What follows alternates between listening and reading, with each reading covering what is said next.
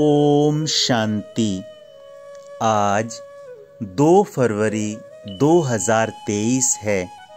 प्यारे बाबा ने हम बच्चों को प्रतिज्ञा द्वारा अपने संपूर्ण रूप से परमात्म प्रत्यक्षता के निमित्त बनने के लिए अव्यक्त इशारा दिया। बच्चे, कोई भी प्रतिज्ञा करते हैं तो जल को साक्षी रखकर करते हैं तो बाप भी बच्चों से ये जल की लोटी चढ़वाते हैं।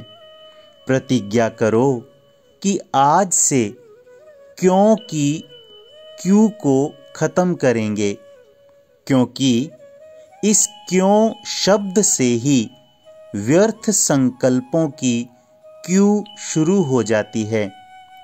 क्यों शब्द से कल्पना करना शुरू हो जाता है। तो जब ये क्यों शब्द खत्म हो जाएगा, तब ड्रामा की भावी पर एक रस स्थेरियम रह सकेंगे। अच्छा ओम शांति।